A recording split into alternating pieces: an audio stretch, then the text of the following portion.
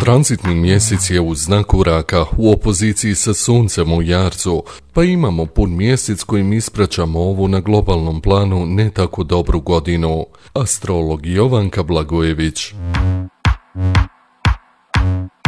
Mjesec u znaku raka izaziva plimu emocija i naglašenu subjektivnost i najmanja banalnost u danima ispred nas može izazvati negativno raspoloženje i osjećaj da nas napadaju jer ćemo sve doživjeti lično i intenzivno. Bićemo ranjivi nego inače i osjetljivi na svaku primjedbu. Biće pojačana potreba za emotivnom sigurnošću, nježnošću, pažnjom, a osjećaj podložni trenutnom raspoloženju. Dani su idealni za porodično okupljanje i druženja sa onima koje smatramo porodicom, završavanje poslova vezani za dom i relaksaciju, kao i za rješavanje poslovnih problema od ranije.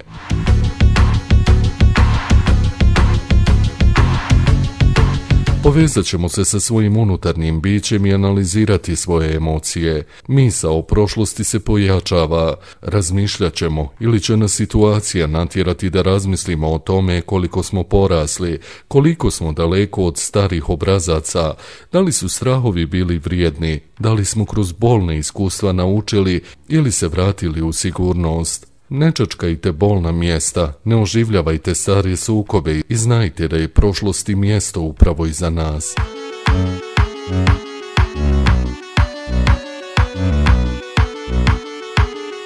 Intenziviraju se porodični sukobi, neke stari nezaboravljene stvari koje smo mislili da smo ostavili iza sebe, podsjećaju nas na svoje prisustvo. Porodična dešavanja dolaze na red upravo zbog toga što su Jupiter i Saturn izašli iz znaka Jarca, pa će do ljeta 2021. godine konačno razriješiti se porodični problemi.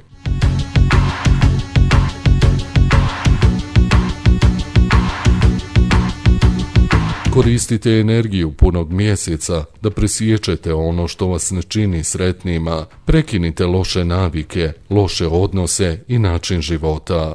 Pun mjesec je pogon, snaga, motivacija da konačno završite neku poglavlje života. Obratite pažnju na to koje polje u vašoj natalnoj karti počinje znakom raka i jarcu, te će biti intenzivne promjene u naredne dvije sedmice. Zapamtite da je svaki presjek bolan proces jer zahtjeva suočavanje sa strahom, tjera vas da se suočite sa sobom, prepoznate u sebi šta zaustavlja vaš rad, pogledajte strahu u lice, suočite se sa istim, prihvatite ga, jer to je jedini put do mira. Ne držite se grčevito starih obrazaca, već napravite sobstvenu promjenu za novi i ljepši početak.